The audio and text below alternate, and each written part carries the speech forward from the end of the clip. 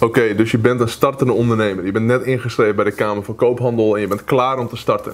En uh, wat is je eerste issue? Wat is je eerste grote uitdaging? Nou, wat heel veel startende ondernemers doen, is het allereerste waar ze mee bezig zijn, is bijvoorbeeld hun logo. Of hun visitekaartjes, of hun briefpapier, of hun enveloppen, of misschien wel het design van een website. Ik wil je tegenovergestelde advies geven. Vergeet dat allemaal en ga focussen op het krijgen van je allereerste klant. Maakt niet uit hoe. Of dat nou via je visitekaartje komt, of via een belletje, of via een, een, een meeting waar je bent geweest, of deur aan deur, whatever. Uh, het gaat erom dat je die eerste verkoop binnen gaat krijgen, dat je eerste omzet gaat krijgen.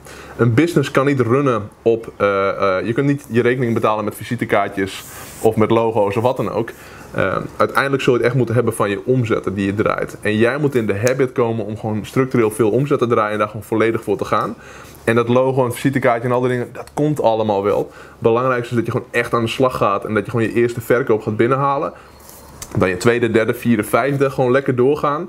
En die visitekaartje, dus niemand die. Het interesseert niemand wat. Hoe je visitekaartje eruit ziet. Of je wel of niet een visitekaartje hebt. Ik heb geen visitekaartjes. Ik heb in 2000. 6 heb ik 1000 visitekaartjes laten drukken en ik heb er nog 987.